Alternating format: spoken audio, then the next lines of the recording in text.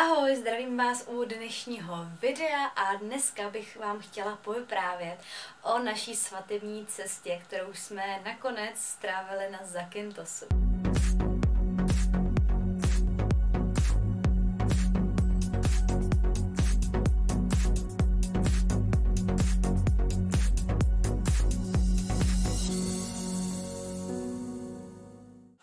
Musím říct, že do téhle doby, než jsme strávili banky v Řecku, tak já jsem v Řecku nikdy nebyla a byla jsem k němu taková trošku jako skeptická, protože jsem takový cestovatel, který jezdí raději dál, jako třeba na Bali nebo naopak třeba do Ameriky.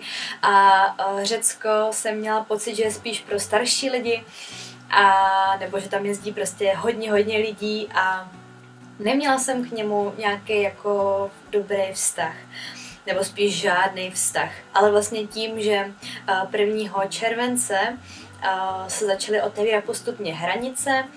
Samozřejmě nesmělo se do žádné Ázie ani do Ameriky a tak, ale mohlo se právě už do Řecka nebo do Chorvatska. A my jsme se brali 3.7. a vlastně do té doby jsme měli asi už tři různé nápady a letenky na různé svatební cesty. Úplně první svatební cestu jsme měli zamluvenou na Maledivy, kam jsme měli odlítat hned po naší svatbě. Měli jsme už rezervovaný hotel, ale vlastně pak přišla korona a my jsme to museli teda všechno zrušit, takže nakonec Maledivy nebyly. My jsme pořád čekali, jestli se to náhodou neotevře, protože jsme měli bezplatný zrušení rezervace, ale nakonec jsme to zrušili, protože jsme věděli, že Maledivy se asi do té doby neotevřou. My jsme chtěli jít na naši svatební cestu hned po naší svatbě. A ještě jsme tak udělali, protože prostě jsme chtěli jet hned, jak to otevřou, protože jsme se báli, že se zavřou a chtěli jsme si to užít mimo Českou republiku. Chtěli jsme prostě k moři a do tepla. A Druhý teda místo, kam jsme se rozhodli jet, bylo Santorini. Santorini typicky typický místo pro líbánky, bych řekla. Myslím si, že každý druhý člověk podle mě byl na Santorini na líbánkách, ale my jsme chtěli něco hezkého, byli jsme ochotní dát třeba víc peněz za ubytování a to Santorini vlastně bylo úplně nádherný místo. Nebylo tam sice moc možnost se podle mě koupat, já jsem tam teda nakonec nebyla, ale jenom jak jsem nad tím přemýšlela a chtěli jsme si to celý krásně procestovat, ale když jsme si koupili letenky na Santorini, tak jsme museli přestupovat v Aténách a podle mě asi dva dny před svatbou nám přišel e-mail, že nám vrací peníze za letenky na Santorini, protože díky covidu je povinnost mít přestup minimálně 3 hodiny a my jsme měli, já nevím, 2 hodiny 50.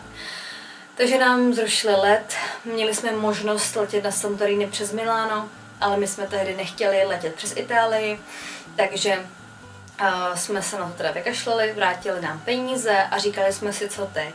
A dávala jsem právě na Instagram, uh, co byste mi doporučili za místo, kam jet.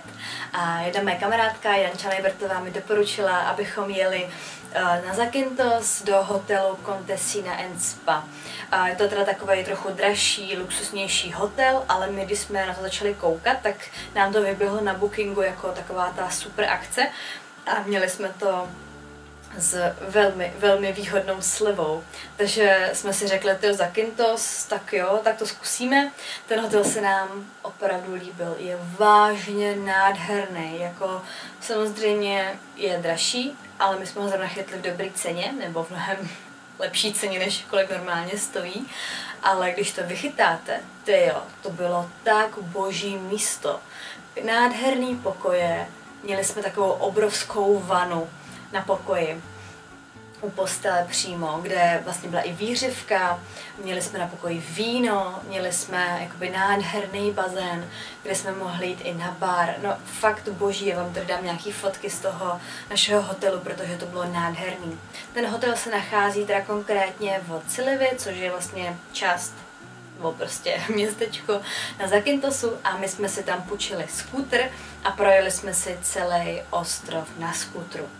Musím říct, že plno lidí nám to hodně rozmlouvalo, mě nám říkali, nejezděte, nikam nejezděte, protože nevíte, co se vám může stát, nevíte, jestli vás tam zavřou, jestli, nevím, se něco nestane, že jo, samozřejmě nikdo nevěděl, ale já jsem tak moc chtěla jet na cestu k moři, chtěla jsem jít do zahraničí, že jsme si řekli, hele, tak uvidíme, prostě co se hold může stát, už jsme svoji, že jo, tak prostě nejhorším tam prostě spolu zůstaneme.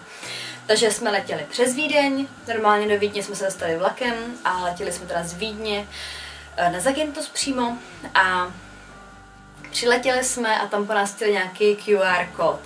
My jsme si mysleli, že to jsou letenky. A tak jsme tam přišli, hledali máme letenky a oni na to ne, to jako potřebujeme ten druhý QR kód a my jako jaký QR kód.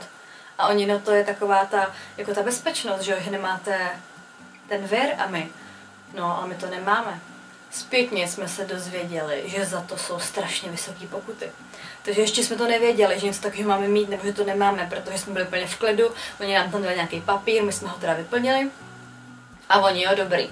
Ale teďka zpětně od kamarádu zjišťujeme, že za to jsou fakt vysoké pokuty, když ten QR kód nemáte, tak to radši udělejte, pokud to ještě jdete do Řecka.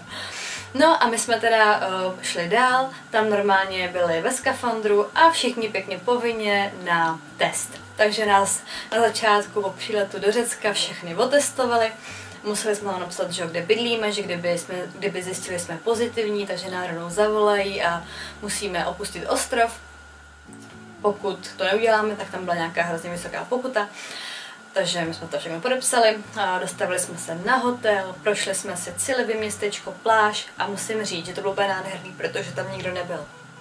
Fakt, my jsme tam 1. července se otevřely hranice a my jsme tam letěli podle mě 5. po naší svatbě hnedka, takže to bylo naprosto boží. Tam prostě nebyly, tam byly teda jenom řekové, uh, hodně tam bylo zavřených obchodů, hodně zavřených restaurací, ale tam jako fakt skoro nikdo nebyl. Prázdný pláže, to bylo úplně neuvěřitelné, to bylo tak nádherná dovolená bez lidí. Já to mi člověk občas ani nevěří, ale fakt bylo tam, jak tam nebyli žádní turisti, tak tam bylo naprosto čistý pláže. Plně nádherný modrý moře, že jsme si prostě viděli, vždycky, když jsme šli do moře, tak jsme si plně viděli i chlupy na palci u nohou. No. Takže, takže to bylo fakt nádherný místo. A my jsme se teda půjčili skúter a co bych vám doporučila, pokud se na Zakintos vydáte, tak co byste určitě měli vidět. Tak základ je asi hlavní město Zakintos, kde je taková krásná promenáda. Můžete tam jít třeba na večeři, nebo si prostě projít městečko třeba kvůli obchodům nebo suvenýrům. Pak bych vám určitě doporučila jet na Blue Caves. Ty jsou takhle, když máte ten ostrov, tak takhle jakoby nahoře úplně, tak máte modré jeskyně my jsme tam šli na skútru a tam je taková, na útesu taková restaurace, kde jsme si dali kávu, je tam u toho takový jako větrný mlín a nádherný výhled na tu modrou vodu, na ty skály, jako já jsem plně takhle byla unešená, protože já ještě miluju modrou barvu, to bylo něco na mě. A pak jsme zjistili, že se tam dá i sejít po schodech, tam se můžete vykoupat. A pak jsme tam objevili právě, že ještě tam jezdí pán s lodičkama do těch jeskyň. Takže jsme si uh, zaplatili výlet, jeli jsme s pánem s lodičkou, byli jsme tam na té lodi ve čtyřech, dva páry, to bylo boží a taky to byly Češi. Uh, takže jsme jako jeli a on s náma s tou lodičkou zaplouval do těch jako jeskyní a tam byla tak modrá voda, on dával do vody takový bílej karton a fakt tam plně svítila ta modrá barva to bylo něco tak nádherného, úplně neuvěřitelného, pokud budete na Zakintosu. Blue Caves jsou úplně must have, to musíte prostě vidět. To vám fakt doporučuju. Uh, druhá věc, který jsem byla unešená, tak je určitě nejznámější pláž a to je Navaggio, což je taková ta bílá kamínková, pozor, kamínková pláž, na který je, na který je vrak pašerácké lodi, to tam tak jako trošku chátrá, ale vy se můžete jít podívat na tu navážího vyhlídku, kde vlastně vidíte tu pláž ze zhora v takovém jako v takový zátoce, vypadá to trošku jak Nusa Penida na Bali, tak trošku podobně to tak vypadá. Je to fakt nádherný a my, když jsme tam právě byli, jak tam nebyli žádní lidi, tak tam nebyly ani žádný lodě a měli jsme to fakt jenom jako výhled, krásný modrý moře a prostě uh, ta stará loď. A pak den na to tuším, tak jsme uh, si zaplatili i výlet a jeli jsme tou lodičkou právě na tu Navaggio pláž, protože na tu pláž se dostanete právě jenom lodí.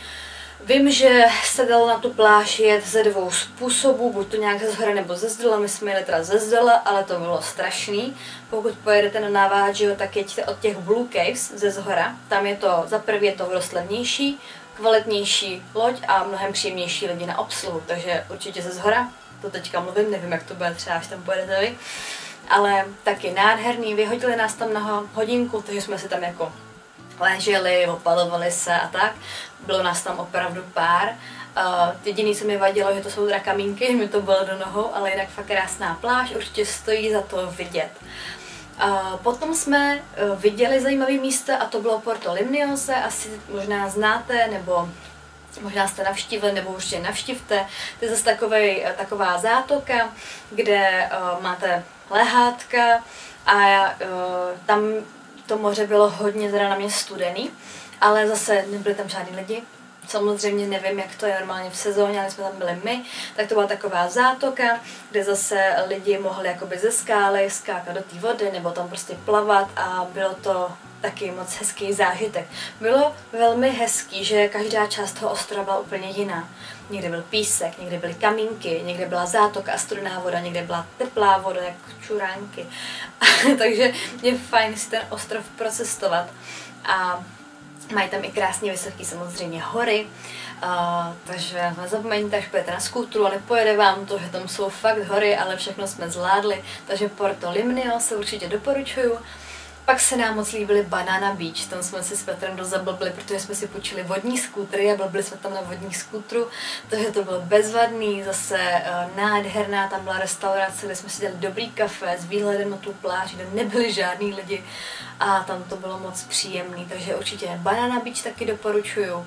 A taky jsme jeden den byli uh, na výletě na ten uh, želvý ostrov, na ten Turtle Island, ale viděli jsme jenom jednu želvu a tam teda bylo docela dost lidí, na to jak tam teda žádní lidi nebyli, tak tady na tomhle místě bylo dost lidí.